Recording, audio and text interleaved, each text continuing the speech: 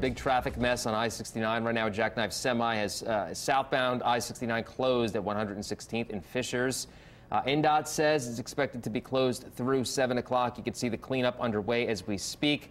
Traffic should be uh, detoured and diverted if you can, if you know anyone that's heading on out. Again, Jackknife trailer uh, along 69 right over 116th. Busy stretch of roadway this time of the day.